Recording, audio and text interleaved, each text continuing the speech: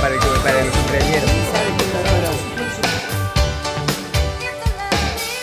Un placer, la verdad, bueno, Juliancito me ha crecido mucho, le hice un asado espectacular, la carne la puso a mi suegro y Alejandro. En familia.